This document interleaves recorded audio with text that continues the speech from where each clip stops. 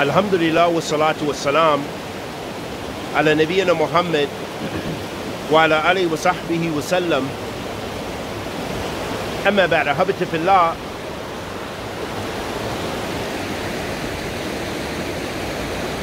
There is a beautiful raha in being in the masjid. There's a beautiful comfort that we miss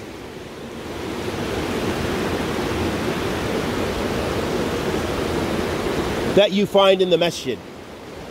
And we miss it because now, as we know, we're tested with this virus and the restrictions of worshiping in Allah subhanahu wa ta'ala's houses. With that being said, we have to continue and worship Allah Azza wa Jal in your homes or where, wherever. You have to continue praying to Allah subhanahu wa ta'ala, doing good deeds, asking Him to lift this bela, lift this test and this trial that is befalling humanity. But I just wanted to mention the ledda, the deliciousness that you can find sometimes in the masajid. We hope all the time in the masajid, but sometimes you find certain masajid that you find that where it's it's actually it's so comforting. As soon as you go in there, you just feel the comfort. And you just want to stay in there. It's a place that you could actually stay. Some masajid, you don't feel the same kind of comfort and sakina. And that can be for a variety of reasons. But I wanted to just talk about those places that you find from the houses of Allah subhanahu wa ta'ala that give you raha, that give you that comfort. And that is just to remind you and to keep your hearts like the Messenger sallallahu alayhi wasallam يتعلق قلبه بالمسجد that his heart was tied to the masjid. His heart was tied to the masjid, that he loved the masjid. Those are one of the things he loved. He loved to pray to Allah subhanahu wa ta'ala, and of course he prayed in the masjid.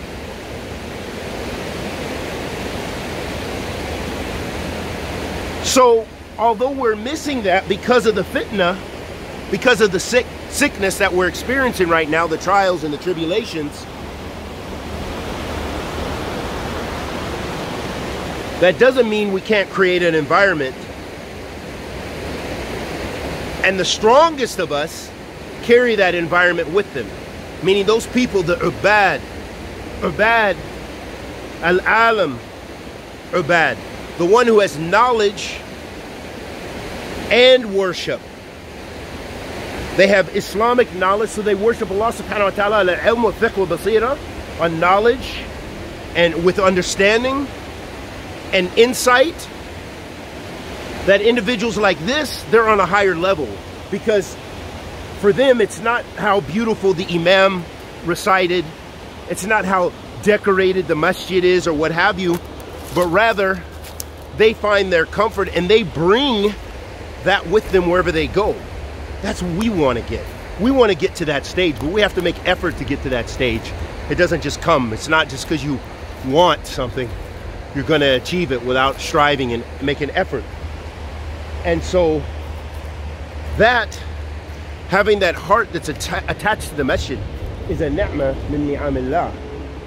And we have to strive our utmost to get in a position where we are comforted and comforted and we find that sakina in all of our prayers regardless whether our prayers in downtown whether our prayers in the woods whether our prayers in the masjid in the houses of Allah subhanahu wa ta'ala whether we're in the haram Mekki haram Medini that you find that sakina.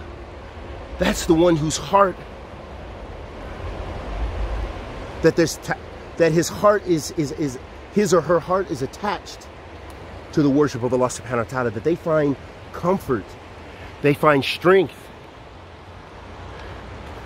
in their worship of Allah subhanahu wa ta'ala wherever they go.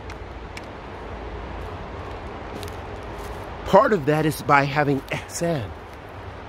As the Prophet ﷺ said, when he described ihsan, he said, أن تعبد الله كأنك تراه فإن لم تكن تراه فإنه يراك He, sallallahu alayhi wasallam, said, when asked about the meaning of ihsan, of ihsan, when he was asked, he said, it's to worship Allah as if you see him. And because you don't see him, know that he's, he sees you. Think about that, Ahabatifillah. I just want to ponder on that. That's all I want to talk about. أن تعبد الله كأنك تراه فإن لم تكن تراه فإنه يراك It's to worship Allah as if you see Him. Fine. And because you don't see Him, know that He sees you. Okay. Walhamdulillah. Andhar habitifillah. Here, of course, we don't see Allah subhanahu wa ta'ala in this dunya. We won't see Allah ta'ala in this life. And those extreme those extremists who claim otherwise, that say their, their sheikh saw Allah, their sheikh commuted with Allah, their sheikh is Allah, their sheikh is in is one with Allah subhanahu wa ta'ala. Uh, all of these bid'ah, kufriya wa bid'ah shirkiya, all of this bid'ah, which is based on shirk and kufr, we we've no we we refute that and we're not this is outside of our our, uh, our conversation. But to worship allah as you see him that means you're fearing allah subhanahu wa ta'ala. That means you have you're you're you're you're exercising takwa. uh, taqwa. That means you're doing what Allah subhanahu wa ta'ala asks of you, his commands, and you're avoiding his prohibitions. Have a taqwa azza. That's where we want to be. That's the stage we want to get to. We need to remove ourselves from disobedience to Allah subhanahu wa ta'ala and commit ourselves to obedience to Allah azza. That's that tawakkul Allah subhanahu wa ta'ala. And that is the one who's on the path of worshiping Allah as if they see Him and because they cannot see him, know that he sees you. Another point I wanted to mention, Habatifillah, is, and that's because I am where I'm at, the beauty, all of this green, all of this lush, these are from the ayat of Allah subhanahu wa ta'ala. If we remember that these are from the ayat of Allah subhanahu wa ta'ala. These are from his ayat koniya. Ayat, these are his, his created signs. Okay, this is in his creation. The this beauty, this magnificence should be a source of reminding you of Allah subhanahu wa ta'ala and reminding you that Allah Azza sees you. That's the beauty of this. It should remind you that Allah subhanahu wa ta'ala is the creator of the heavens and earth. He created all of this. This is all from His majesty. This is nothing in the scale of His beautiful creation. Inna lillahi wa inna ilayhi raji'un. It is from Him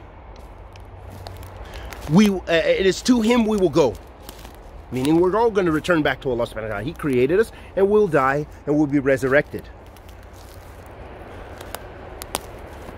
And to him we shall return. We're going to return back to dust.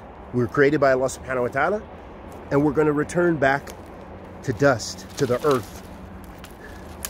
We are created. We will, we, we have a short period in this dunya.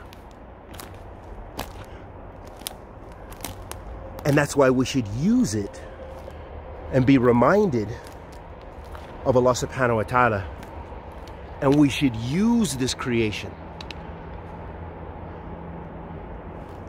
to worship Allah subhanahu wa ta'ala and make dhikr of Allah ta'ala and be on ta'atillah and be away from ma'siyatillah and have that khushu' and that yaqeen, that certainty, and that that that fearful co- concentration and humility before Allah subhanahu wa ta'ala when we worship Him. And we find that everywhere for the muttaqeen. Those are the ones who fear Allah subhanahu wa ta'ala. May Allah subhanahu wa ta'ala bless us to be of those who fear Him. Wa sallallahu wa sallam ala nabiyyina Muhammad wa ala alihi wa sahbihi wa sallam.